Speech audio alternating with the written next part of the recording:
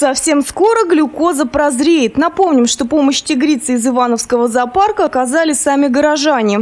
В этом году была собрана необходимая сумма на операцию для почти ослепшей хищницы. Глазную линзу для животного по специальному заказу изготовила одна из немецких фирм. Сейчас хрусталик в 30 диоптрий уже находится в Москве. Операция глюкозе назначена на вторую половину июня.